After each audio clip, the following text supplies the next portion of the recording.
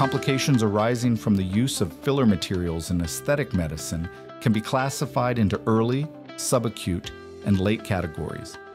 Early complications include erythema, edema, pain, or pruritus at the injection site, as well as secondary infections, hypersensitivity reactions, or tissue necrosis due to vascular occlusion. These are often associated with poor technique or inappropriate product choice. Therefore, precise anatomical knowledge and adherence to the injection planes are essential for reducing risks.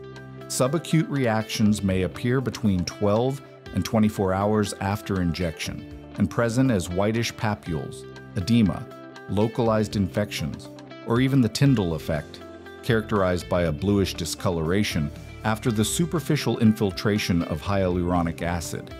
In the case of hyaluronic acid, effects such as cystic granulomas, irregular reabsorption, overcorrection, or unesthetic discoloration may occur.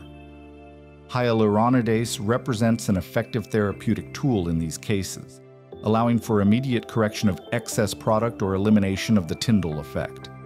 On the other hand, calcium hydroxyapatite may induce visible nodules in areas like the lips, which is why its use is discouraged in that area.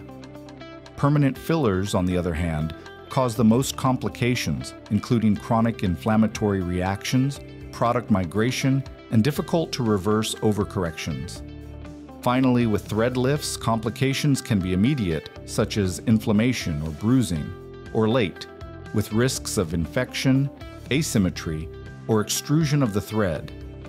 Clinical follow-up, proper documentation, and informed consent are fundamental pillars for good practice and patient safety.